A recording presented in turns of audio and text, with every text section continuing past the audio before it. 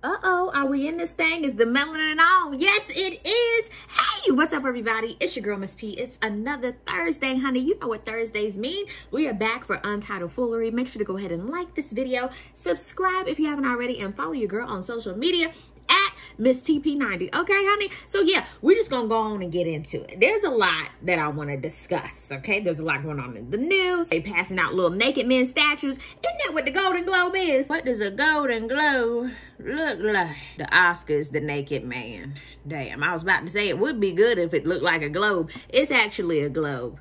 Oh, either way, it's a statue. Here's the thing. I'm so excited about Andra Day having her win a Golden Globe for playing Billie Holiday. I mean, the movie was fantastic. And for this to be her first time acting, honey, I said, honey, you gonna get that Oscar. Give it a little naked man statue. Just go ahead and give it to her. She the second black woman to get this? Like, do you know how many black actresses there have been? Do you know how many times they done put the Golden Globes on the television screen? Now, that's a damn shame. I know Angela Bassett done done some good old acting to get an old naked man statue, but they didn't want to give her none. Oh, now some of her best acting, in my opinion, of course she did amazing in What's Love Got to Do with It. But when she did the Jacksons in American Dream, y'all remember that scene when Joseph was cheating and he told her, go and get me some ice cream. And she was like, you so silly, Joseph. She went to go get him some butter pecan. She was on her way because you remember she had a little limp. She was on her way to get it. It's something, you know, women, we got a good intuition. She said, up, hold up. She was, he was acting a little strange. You know, at the Jackson estate, they had phones everywhere. She picked up that phone. She was hearing all that, hi, Joseph.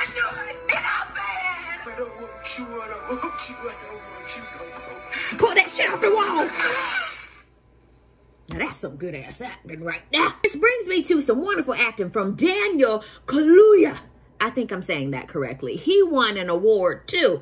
I love me some him. And he did his good old acting in Judas and the Black Messiah. And honey, that's a fine little chocolate man. Y'all know I love chocolate men. Now he is something to look at. Ah, and his little accent. Woo! I also want to give another honorable mention, even though he didn't win nothing, to Trevante Rhodes. He was so fine in that Billie Holiday movie with that pretty ass smile. Ooh! Mm, mm, mm, mm, Lord have mercy. I'd like to give him a personal award.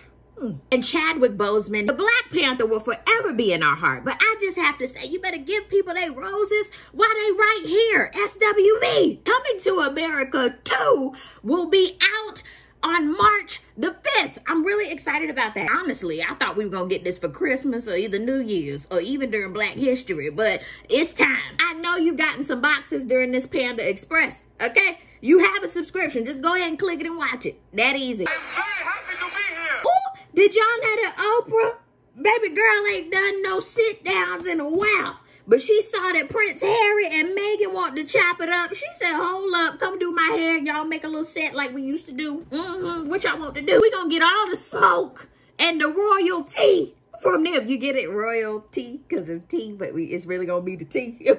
okay. Meghan said, Harry, we got to pack all this shit up. We heading to California. Okay, I can't do this. He was like, say less, Meghan. Let's wrap it up. Um, you know I'm getting old, child. I don't know who with who.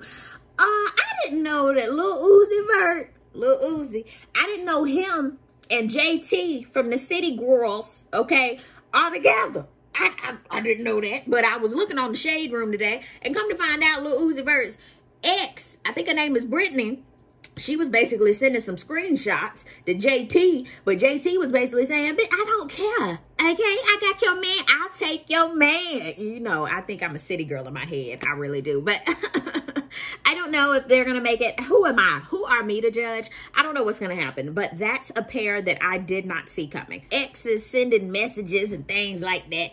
You just mad that he doesn't move forward. And granted, Lil Uzi, make sure you wrap up things. That's my biggest thing. I hate when people be out here trying to juggle two people at one time. After a while, one girl gonna snitch and talk to the other girl. That's just how that's gonna be, okay? It's really hard to juggle two women, especially if you're trying to be in a relationship with both. Mm-mm. Uzi, figure it out, honey. Figure it out. All y'all out there trying to do the same thing. Y'all better figure that out. For them rebels, Missy. Is Orange Face, aka 45, I don't even want to count him as a president. Um, is he hinting about running again in 2024? No, mm-mm, absolutely not. That's not even news. I'm not even speaking that into existence. No. Go to bed, Joseph. Go to bed. Uh, did y'all hear about Lady Gaga's dog Walker getting shot, getting popped, and the dogs got stolen, okay? Lady Gaga basically said, yo, if you see my dogs, get my dogs. I got some hundred of thousands for you. Shit, I was even looking for the dogs. I don't even live nowhere near California. I was looking for them little dogs. Um, my biggest question is, did she give a damn about the dog walker? Dude is okay, but imagine the money he makes. Just walking Lady Gaga dogs and picking up shit. But Gaga, this shit ain't safe no more. Who you think gonna walk your dogs now but you? This ain't safe. Walking around getting shot up over some dog. No, I didn't come to dance for y'all. I just wanted to walk these damn puppies. Okay?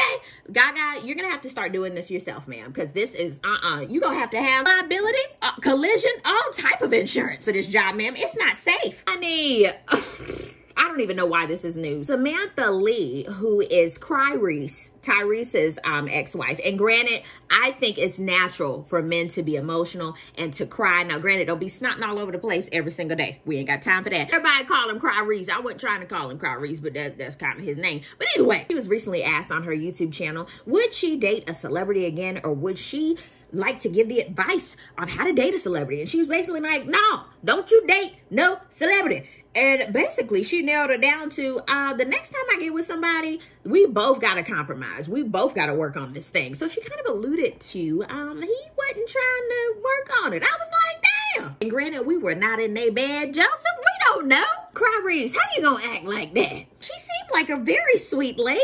Hopefully, they have an amicable split. Uh, did they have any cheering together? That's a shame.